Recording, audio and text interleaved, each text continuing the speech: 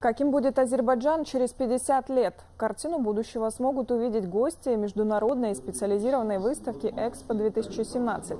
Как отметил председатель правления нацкомпании «Астана-Экспо» Ахмеджан Есимов на встрече с министром энергетики Азербайджана, международные павильоны участников начнут передавать со следующего месяца.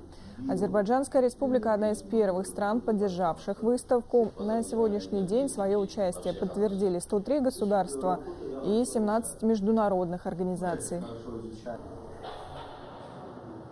Я должен сказать, что я поражен поражен увиденным этой подготовкой, организационными вопросами, масштабом. И все это впечатляет, э, все это грандиозно выглядит. И уверен, что когда, наверное, мы уже приедем на выставку, это будет еще, э, так сказать, более внушительней, что ли. Высоко э, оцениваем ту честь, которую там нам оказали, пригласив на эту выставку.